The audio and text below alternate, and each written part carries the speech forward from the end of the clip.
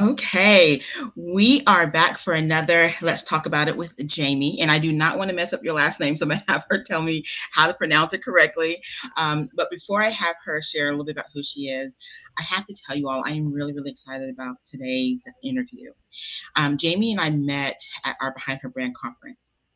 And um, I have to tell you, she was like energy walking, um, positive. Um, she was engaging. She was friendly. And whenever you go to an event, and even though it was our event, we don't always know everybody who comes. But when people walk in with such a good you know personality and energy and feeling it just draws you in and i'm one of those kind of people that that makes a big difference and jayme is like that and we got a chance to talk afterwards and all the things and same person same exact energy, beautiful spirit. Um, she's a heart for God, heart for people, heart for service. And so today I wanted her to come on because I just wanted you guys to know who she is, what she does, because she's seriously one of the best people I've met recently. And I'm just so grateful our paths have crossed. So, Jayme, can you please share with us a little bit about who you are? And don't share anything about what you do, but just who Jayme is. Yes. So, guys, I am Coach Jayme.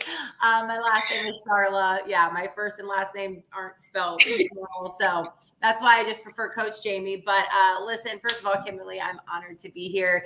Secondly, what you see in me is a reflection of you because that experience from my end of it, um, my first time walking in, not knowing what to expect, the energy you felt in that room was just so mm-hmm. lighthearted and authentic and full of love and just like hope and everything. So so I mm-hmm. have to make sure I give massive to you on that. But um yes, uh, my name is Coach Jayme. Um, I am a lover of all things uh, Christ, CrossFit, and coffee. Um, I have two rescue dogs uh, that I love dearly, but uh, yeah, energy is my thing. I love people. I love just all that God has given us the opportunity to do in this world and, and to best serve him while we're here. So I'm excited to to see what that looks like today. Awesome, awesome. So Jayme does a lot of work with um, mindset transformations, and I know you have very two specific areas. Um, and I want you to share with me first why is dealing with mindset transformation such an important work for you to do?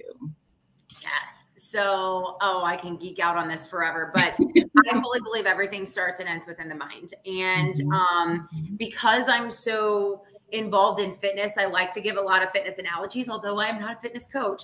Um, it just is the it's easiest to articulate because I think you know we're also in a very big health and wellness boom, so people yeah. get it. But picture like your brain being just like a muscle in the gym, right? Mm-hmm if mm-hmm. you want your biceps to get stronger, you have to get uncomfortable and you have to work on them. You have to start lifting heavier if you want to then get even stronger from where you were before.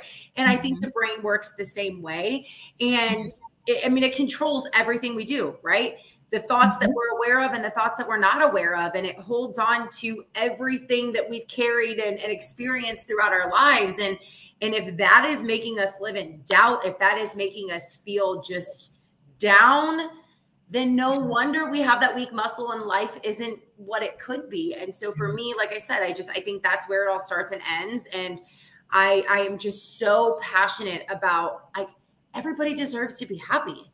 Does that mm-hmm. mean we're going to be happy 100% of the time? No. We also yeah. have to be real, right? But it's a muscle that deserves to be trained because God, God brought us here for a reason, right? And He didn't put us in in this world to be miserable, right? We don't serve a God like that. So mm-hmm. yeah, that's why why I do it.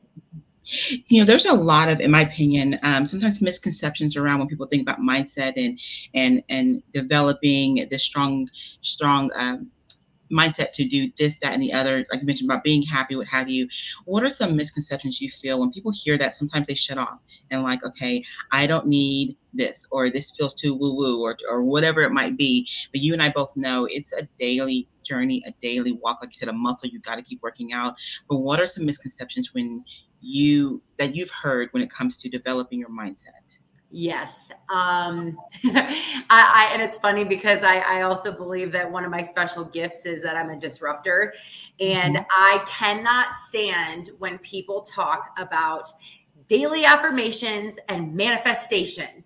That uh. word has gotten so sexy and like the unrealistic expectation that people yeah. paint in their brains and especially with a lot of the woo woo stuff out there is like if you just manifest it life is going to be easy you're going to be happy all the time that's what sells right with even coaching is like let me just paint this beautiful picture and then you get to do a vision board and manifest this luxurious life where there's never any problems and that's not how it works. And I, I love to speak in analogies. And so this is one that always works really well here. Like imagine storms, right? Yeah. yeah. It's like, okay, hey, there's this massive thunderstorm that knocked out my power. Oh, well, because I had a storm, I'm never going to see another storm again in my life. That's not how mm-hmm. weather works, right? We need the rain, right? The, the bad weather is going to come. That's what makes us appreciate the sunny days that much more. And the same works with our experiences in life. So I think a big misconception is that we've become obsessed with the concept of being happy all the time. And mm-hmm. it's it's being able to neutralize your experiences so you're not constantly chasing this high of happiness which we will get to that in a second. Yes. Yes. I love that. You know there was this term i heard not too long ago and it made me think about what you just said that um, and it's, it's not a positive term. It's like toxic positivity. Oh, girl, that is my favorite thing to speak on. I love talking toxic positivity. okay, well, I'm gonna let you jump into it because when I heard that, I was like, you know, um, and well, let me preface this because I think you and I are very similar in this way. We choose every day how we choose to show up, exactly. and I choose to show up with um, positivity, um, with joy. It does not mean that my life is perfect. It does not mean it's not, you know, I don't have my ups and my downs, but it is a daily choice that I choose to say, you know, I know what looking depressed feels like. I've been there before. I know what that feels like. I've been through that. But I also know that every day I have to choose what I how I want to show up. And I've had some people sometimes misconstrue that. Like, do you ever go through anything? Like, are you always so happy? And it's like, no. And and you know, and and then I grapple, Jayme, and tell me if you've ever experienced this too, that am I putting out something that's not real? Because it's not that I'm trying to pretend at all. It's but I'm choosing to be good today. You know what I mean? So t- talk to me mm-hmm. about that with your, your view on toxic positivity and that term and and all the things around that. yeah, I'm gonna I'm gonna start from the end of part the ending part yeah. of what you said and work my way to the beginning. So okay. what you have is a very strong resilience muscle right? You wouldn't mm. look at somebody like Usain Bolt, who is a freaking phenomenal runner, and right. be like, do you have ever days that you don't want to run? Well, duh. Yeah. But I mean, he had to keep practicing and work to get to that point of endurance where he can do it with such ease and it's part of that routine and it's a disciplinary mm-hmm. action, right? And so with toxic positivity, one, there's there's been proven like tons of health issues that you can actually have because of it. And what what toxic positivity reminds me of too is like the fake it till you make it mentality, mm-hmm. right? Yeah. Like you're yeah. not showing up as you, right? Mm-hmm. If something makes you sad, like your body is telling you that for a reason. Again, mm-hmm. I got another analogy. If you eat a piece of raw chicken mm-hmm. and your stomach obviously doesn't like it and it's going to make you want to throw up, sorry for the mm-hmm. visual, guys, but I, I like to make sure I drive my points home you're not going to be like, no, I'm not sick. This is good. This feels great. Yeah. That's a toxic thing. Like your body is like, no, mayday, get this out. This isn't good. Yeah. Bad emotions are still just in an emotion. And so you can't force yourself to pretend that you're happy all the time because now mm-hmm. you're dismissing the things that are making you uncomfortable that are actually making you sad. Like yeah. it is normal to experience that. And that's why, like I said, it's such a trending thing where everybody is selling you happiness all the time, yeah. which is toxic because now you never see the side of them that doesn't feel that way. And you're miserable chasing after that the mm-hmm. entire time. Yeah. Because you're waiting for that moment to drop that it all finally makes mm-hmm. sense and you are finally happy and you're missing the mark. Mm, very powerful. Let me ask you a personal question around all of this. Okay. Because when someone's very passionate about this type of topic, that means you had to walk through it yourself. Share with us something about how you had to walk through your own mindset. Um, I'm not going to use the word struggle, journey, mm-hmm. and how you came to a place where I want to help others walk through the same thing. Absolutely. So uh, I came from a very chaotic, broken um, upbringing and it was very confusing. Um, there was a lot of trauma in a very diverse amount of ways that happened. And it got to a point that when I was 13, um, I was diagnosed with depression. And in a six mm-hmm. month time span, they tried me on four different antidepressants. And I'm like, how about I'm a, I'm a grieving hormonal teen yeah. trying to figure out her body, trying to figure out life, where she fits in, how you're, what a healthy relationship is supposed to look like, all those things. So I was such a negative, angry, bitter human. Um, mm-hmm. This led to a lot of really more unfortunate events that unfolded in my life um, drugs, alcohol. Um, I was in a, an abusive relationship. I had attempted mm-hmm. suicide on multiple occasions. And so I got to those very, very dark places. But to everybody who saw me during the day, I've always mm-hmm. had this energy but when I was not in a good mood, like I, I could totally make a room and light everybody up, or I was going to tear you down with me. Mm. Like I had that power. And so it exhausted me a lot. And I personally would put this happy face on all the time. And I would pour into other people because I'm like, I so desperately wanted to feel that way. I never wanted somebody else to ever have to feel what. I was mm-hmm. feeling. And so it took a lot of growth. And I am so grateful for my journey. Like one of my favorite, well, it's my least favorite question to have asked, but at the same time, it is my favorite because the response I give, I don't have any regrets because mm-hmm. if I wouldn't have had to have been conditioned in that way, I wouldn't have appreciated the good in my life and I wouldn't have this pull to want to make sure that others are loved and able to experience the, the, the goodness of life in the same way. So yeah, mine all mm-hmm. came from literally having to experience it firsthand and have to wake up every day and learn to take my thoughts captive to learn how to discipline myself um, and it's mm. super funny because uh, I, I as I told you before we jumped on here, I volunteer for like five different organizations. Yeah. Um, but one of them is that I run a faith and fitness group, and we talk about uh, training our spiritual muscles. So we do a workout, but we do a mm. physical workout, but it's all or a uh, spiritual workout, but it's all based off of like putting God into it and yeah. we were talking about the sense of self-control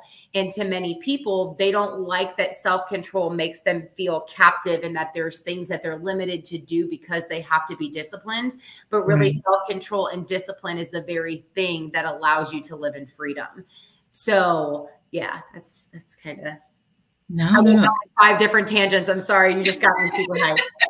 no, but I love it though because you know I, I always find whenever you're passionate about something, it's because you have to walk through it, and I know we all have walked through it in different ways, yeah. and I know that you work with a lot of people that still struggle with it in different capacities. So you work with a lot of professionals. I know business professionals, career professionals, executives, you name it. Um, what is some of the things that you're noticing when it comes to this space about um, mindset I won't say issues, but mindset things that you see that people are struggling with, maybe. Mm-hmm. And then also I want you to look at the question at the other side of it too. What are some things that you're seeing that people can do positively to up level their mindset? So both yeah. sides of the coin. Yeah. So, you know, first and foremost, um, I work with the workaholic, the people who are like I always say this I'm like yeah it's better than meth but it's still a drug nonetheless is that mm-hmm. that is where all of their validation is mm-hmm. is is is placed they they work their lives away because when I finally when I finally close this deal when I finally can afford this when I finally finish out this quarter this way and I do this and that and then I have the mm-hmm. perfect life to post on social media then I'll be happy so they're mm. chasing happiness. That is their drug of choice. And then all of a mm. sudden what happens that that that that fix arrives, but it's just this quick fix and it didn't yeah. feel as good as what they amplified it to be in their head. And then now they're like I need my next fix. I need my next fix. And then they're chasing mm-hmm. and they're burning out and they're putting this pressure on themselves and it's all coming from a mm-hmm. space of fear, unworthiness, um that the validation of that that's what's going to make people love them like especially about 40 i always preface this because you know there are so many coaches out there and especially being a female coach everybody assumes i only work with women. No mm-hmm. about 40 to 45% of my business is men and it's because mm-hmm. of the fact that especially that's them right? Like they are known to be the breadwinners and they have to be doing this and showing up a certain way and so that's a lot of pressure that they're putting on themselves And what's missing is now that they are so fixated on work, they're not having any meaningful like connection within their relationships. They feel guilty when they stop working because they're like, mm-hmm. I just wasted my time. Yeah. I could have been working, or they're they're at their kids' baseball game and the whole time they're answering emails, so they're not even present and experiencing the life happening in front of them, men and women both, right? Yeah. So that's very much what I see is that like again, yes, there are far worse addictions that you could have, but addiction is addiction nonetheless. And it's because you are running from something. You are chasing after this fantasy thing to pull you out of the reality at hand. And it's not something mm-hmm. you want to face, right? Mm-hmm. Even somebody who's addicted to working out or addicted to music, we all have an addiction to some sort, mm-hmm. you know, whatever, mm-hmm. even it's like self soothing, right? But and that isn't harmful, but it still can always become harmful when it's that you're constantly trying to escape your life. Like, and that's mm-hmm. another thing I teach people how to do is like, I'm not trying to sell you financial freedom that you're going to stop working. Is I want to mm-hmm. teach you how to live a life that you love and feel fulfilled in what you're doing that you don't need a vacation from. Because mm-hmm. again, these very people are addicted to their work, but they're like, I'm miserable but yeah. I've already invested so much time and I have so much to do that I can't just stop and breathe. But they don't feel like they even are serving yeah. any purpose, but they keep chasing a high that they yeah. never achieve. So that is very much what I see. And then on the flip side, how to face that, um, you know, I and this is always what I start with. I mean, no matter what, I, I, think that especially in this area, I mean, we do it for for coaching to have somebody hold us accountable for like fitness and business and all of that. But like even more so like before hiring any form of mentor coach mm-hmm. whatever you have got to learn how to sit with yourself mm. and you know mm-hmm. i know that this is also trending is where it is the meditation the affirmations the gratitude journals all of that is great but like i challenge people to actually put it on their calendar make the mm-hmm. time don't tell me you don't have the time because people make time for the things they want to make time for. Right. But is like sitting with yourself in silence. Do not have your phone near you, but actually like process what's going through your brain. Why do you think what you mm-hmm. do about life? Why are you influenced of what other people are doing? And not mm-hmm. even like don't even be sitting and having a conversation with a very near and dear friend or loved one like because now you're still at the influence and the mercy of what what they're thinking but just sitting with yourself and calming down enough to even know what it is that you're running from. Because more times than not, if you go to sit down, I can bet you probably 97% of our population within mm-hmm. three minutes would start like jittering, right? Withdrawals. Mm-hmm. I need to be working. I need to be doing something. I need to be checking my phone. I need to go take care of the laundry. I need to go check to make sure the kids are making a mess in the bedroom, right? They're yeah. seeking a way out because they don't want to have to sit with their thoughts. Mm. sit with your thoughts. So, what's the other side of that? How does some like what are a couple of things um, that people can do now? I know you said sit with your thoughts for one. Is there a couple more things that if someone's listening to this right now saying, okay, that sounds like me, mm-hmm. um, didn't even realize that sounds like me, you know, what can I do right now? So, very first step, um, and this is again, as you mentioned, um, things that I learned because I was somebody who personally went through it. Um, I struggle with the word journal. And the reason why is because where I go is two different mm-hmm. ways. One, I was a teacher's pet. I was okay. a workaholic. I was a workaholic, even that young, where I was people pleasing like nobody's business. And I was always turning in my reports way before anybody else. So when I hear journal, first it's like, dear diary, and I'm writing it from a space that like somebody's gonna read it. So it isn't yeah. really like real. It's almost like I'm filling out a resume or something, right? So that's mm-hmm. part one. And then part two is that whole I for a a, a, small season of my life a few years back very much kind of got sucked into the woo woo side of things okay. and where it was like the the journaling and the meditation and the manifestation and for me, it just felt fluffy. And like, I, mm-hmm. again, it just, it, I don't know, it didn't sit with me. So essentially, it is the same concept, though, as what I'm getting at here. Call it journaling, call it whatever you want. But I hope this analogy sets my workaholics free that are hearing this.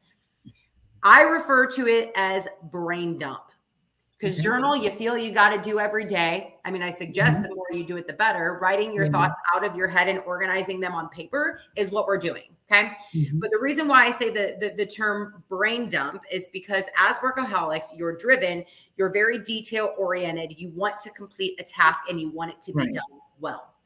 I don't want you to think you have to perform when you're mm-hmm. sitting with your own thoughts mm. and when you're writing things down. So I'm like, picture it this way when the trash in your kitchen starts getting stinky, what do you got to do? You got to take the trash outside.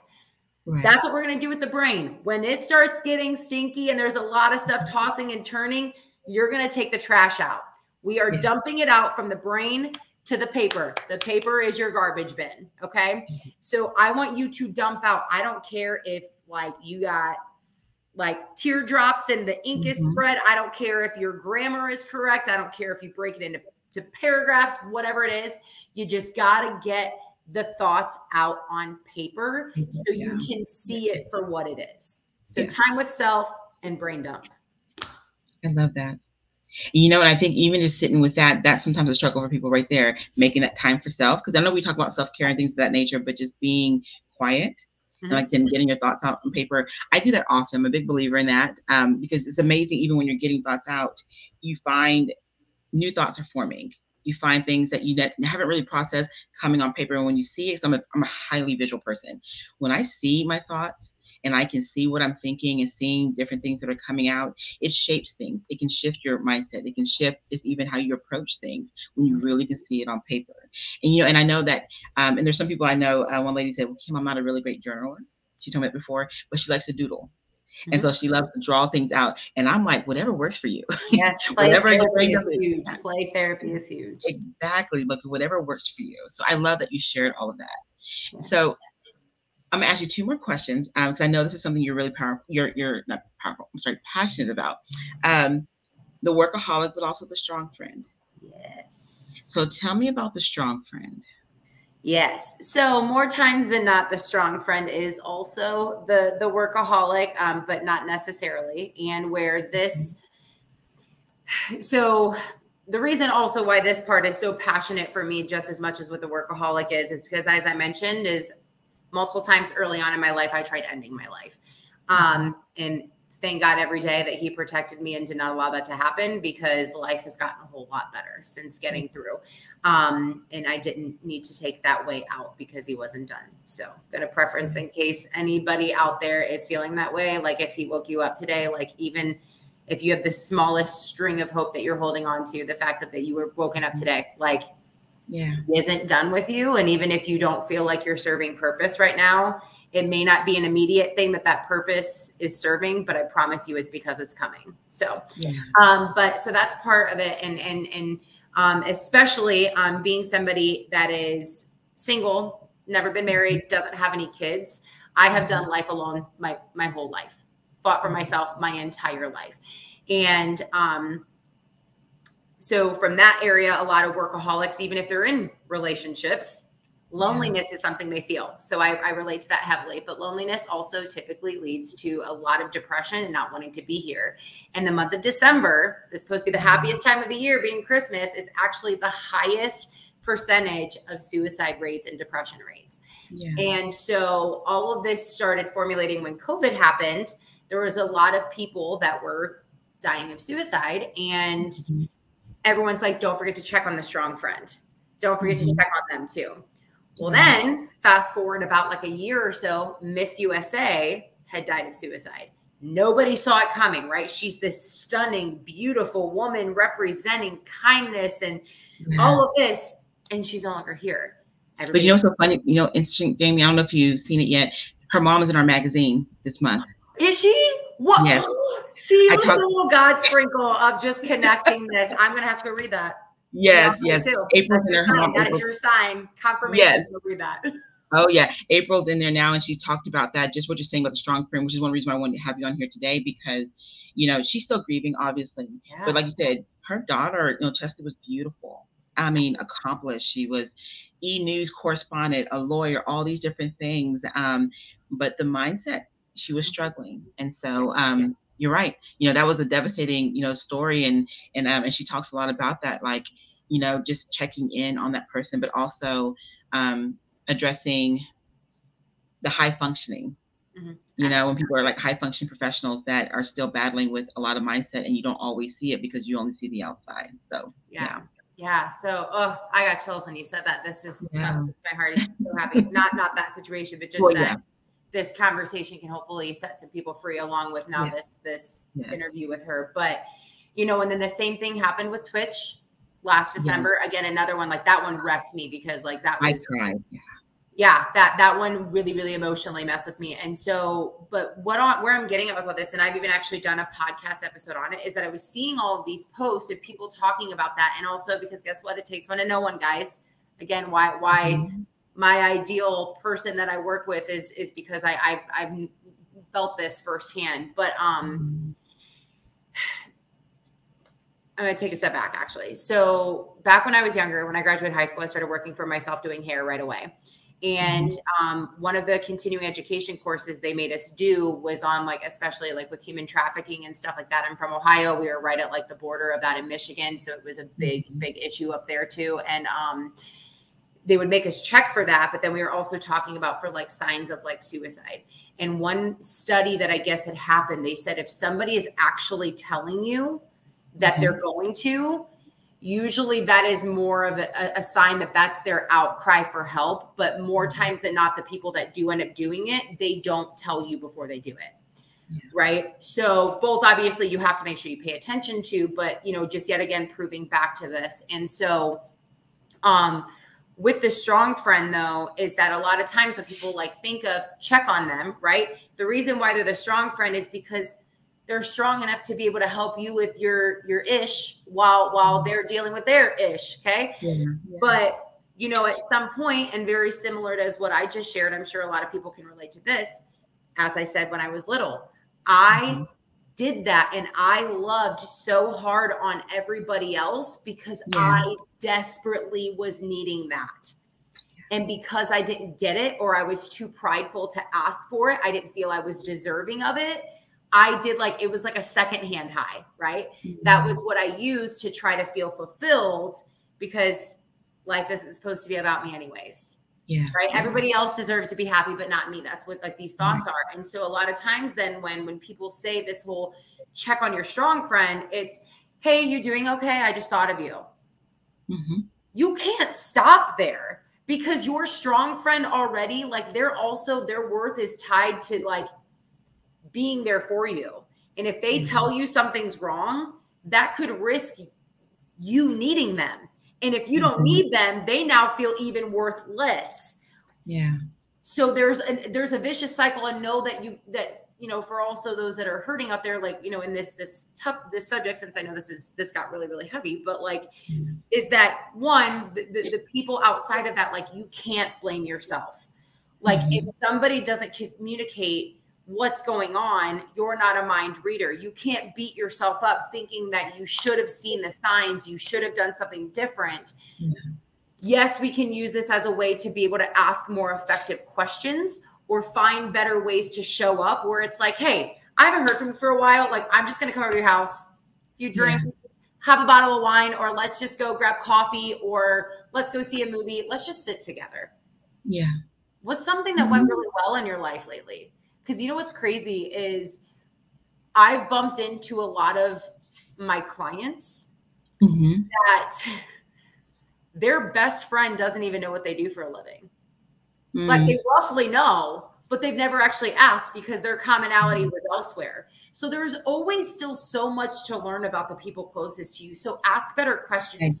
Leave it at, oh, you doing okay? Okay, good. I just wanted to check on you. That's not that's not checking in right? Mm-hmm. That's almost like, hey, checking off my list so that doesn't fall back on me if you're not okay. I did my due diligence, mm-hmm. right? That's how it's going to feel to the strong friend. Okay. Mm-hmm. So that's one side. But then on the other side, for my strong friends out there, and like I said, all of this is on my podcast too, one of the episodes if you guys want to listen to it. But um you've got to be okay with asking for help. Yeah. right? You you hear it all the time. True strength is in in, in vulnerability, and you not reaching out to ask for help is actually mm-hmm. you blocking somebody else the ability to give a blessing. Mm-hmm. So even if your pride won't let you because you're afraid of looking weak, yeah. maybe that's a way that'll shift it is that you're you're you're robbing somebody the opportunity to bless someone. Because mm-hmm. I promise you, even if those people they don't feel like they're strong enough to handle it, they are. Because they yeah. love you. And even if it's just that they have to tell you or they just have to sit with you, like in the book of Job, right? Like like I, I, just need to sit with you for a minute, like whatever that mm-hmm. is. But you got to be okay with asking for help. And I, I, think that you will be shocked at the type of mm-hmm. response that comes from that. Not going to be all the mm-hmm. time because I can, again, takes one to know one. I have had situations where, again, on my part, I put an expectation on what that person should or how they should respond. And then i was upset with them when they didn't respond how i wanted them to but i never communicated them that dude i don't want you to talk to me. Like don't don't fix my problem. I'm not coming right. to have you fix my problem. Can you just sit with me? Yeah. Right? Mm-hmm. like you have to be able and that's also another reason why the whole mindset and just self discovery and training that muscle is another big deal to me is because if you if mm. you don't even know yourself well enough to know how to articulate to somebody else how it's not fair for you to expect somebody else to know how to either. I love that. Okay, i'm gonna i'm gonna stop. I just went on a big tangent. No no no. But you know i wish we had more time because there's so much there to even unpack like especially yeah. with the expectation topic. Like i hope you do a podcast even just around that alone. Yes, you know because I mean, how me back that is, by the way. Right, right. Because there's just, it's just so much to unpack with all of that. But you know, I will say this, and I and I want you to share with anyone who may feel like you know identify with whether it's the workaholic or whether I feel like I'm, I'm the strong person always feels like I have to be strong, how they can get in contact with you. Um, but I think a lot of the key things that you're sharing too is the importance of being alone with your thoughts, making sure that you journal them, you write them down. That, um, and, and, let me say this too, if you're okay with me saying this, even when you're writing them down, this is like why the work with you is so important. That if you write down things that you are even afraid of, or it feels a little bit more like, oh my gosh, I got to confront these thoughts, you know, you don't have to do that alone. That's right. what like people like Jayme do. They help you kind of work through and walk through and sift through and all the different type of things there because sometimes we need that other voice. We need that other perspective to come in and look at that. And the other side of that too, and this is a topic I think, Jayme, that people don't feel comfortable talking about, but I've had found so many women, even at the conference, you remember people just shared very openly. I've had moments. Oh, I think you, you were there the second day. Uh, Thessalonia shared on the stage, and I can share this here because I mean she shared it, you know, with the room, and she doesn't mind sharing it. That she even contemplated taking her life because life just got overwhelming. And she was a Marine, and she was she see people see me. She goes, I'm, they see me as strong, and you know this, that, and the other. And sometimes we typecast what strength looks like, and typecast what you know strong looks like. Um, but I think if we can communicate more, like, hey, this is how low I'm feeling in this moment, getting someone to talk to, like you mentioned, and to reach out to and kind of work through can make a huge difference. Yeah. It just does. And so I know that's not always an easy statement, and I know that um, it's there's so much to all of this. It just really is. But just to take the first step of reaching out to someone that can, you can talk to. Yeah. So, share with us a little bit about how someone can work with you and how they can reach out to you. Yes. So I uh, I do things a little differently than what a lot of coaches out there do. Yeah. I do not offer any form of group coaching. I strictly only do one on one um because I want to work with those individuals that the work ethic is already there right? Yeah. that's not the issue. It's it's just the, again the things that they're running from and just helping build that confidence be the accountability be the sport the, the support. I like to say the blind spots right? Like even mm-hmm. an olympic athlete has a coach. Yeah. i'm not here to play therapist to you to sit here and and and walk through that. Like i'm i'm not a therapist. I quite mm-hmm. literally cannot do that as a coach.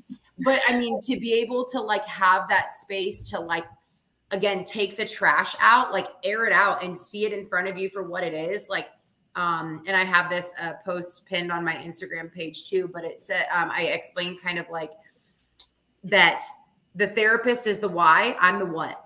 Like mm-hmm. we know why this is happening. We know why we function this way. We know why we're hurting, but what are we going to do about it? So okay. I, I, I take I take it um I, I believe in in balance within my coaching where I think it's important mm-hmm. to like sit in the mud together but it's also important to go high level and start talking strategy and and right. daily habits and, and training of the brain as i say it but um yeah it, it's important to get both of those and mm-hmm. it's nice especially for men but also the, the, the women that you know feel that strength is that i can't show that that's where i come in you can keep being the strong friend to those people and it's not going to impact anything that's what you have me for you right. have another strong person who's gonna be like nah i call bs you're telling mm-hmm. me this, but I can see it on your face. Like you're lying to me and you're lying to yourself right now. Let's talk yeah. it out. And um, so yeah, that's kind of what that is. But to work with me is I, I very much also because of this is I, I make sure I take somebody through an interview process to qualify them to make sure one that they're ready. Um, mm-hmm. it's, it's going to get gunky but you're not yeah. sitting in there alone. I'm in the trenches with you. So you can book a discovery call with me, and everything on there is completely confidential. It's between mm-hmm. us. And that's where we can even see if we're fit together, if this is something mm-hmm. you're finally ready to face. And then and then from there we get to embark on a journey together all of my coaching is virtual um yeah so that's kind of what it looks mm-hmm. like and what it would be well, thank you. And I'm, I, I, will encourage everyone, we'll put your information out, out here as well. Um, but if you are dealing with this area, it's definitely worth hiring someone um, like Jayme and hiring Jayme, period, actually. Because one thing when I asked you earlier about why this is something you're passionate about, um, I have found even in my own um, years of working that it's so much better to work with someone that understands the journey, not from a theoretical standpoint, not from an education standpoint. And not that I think education is bad, everyone. So, yeah. but when you walk through something, you can relate to someone differently. Absolutely. And because you have walked through it, you are definitely a great person for someone to say, look, can you walk through this with me? And like you mentioned, you're not trying to hold their hand, but you're trying to help them to identify the what and how to kind of get to that next place. And so I definitely want to encourage anyone that if you are in this space, contact Jayme. So, what's your website? Tell us your podcast information, all the things, so that we know. And we'll also like, you know, uh, uh, was it tag it as well? But I want you to also share it here. Yes, yes. So as you guys can see on the screen here, I'm. It's difficult. I'm the Jayme with a Y, no eyes. Um, I, I, always highly encourage cyber stalking me too. If this didn't uh, explain to you enough who I am, yeah, I give approval stalking isn't creepy if somebody gives you the approval. I'm intentional about what I post so you are able to stalk and not feel bad about right. it. Um, um, but so uh, like on Instagram and Facebook, it is uh, well on Instagram it's Jayme the coach, so J A Y M E. Mm-hmm. Um, I'm also on Facebook.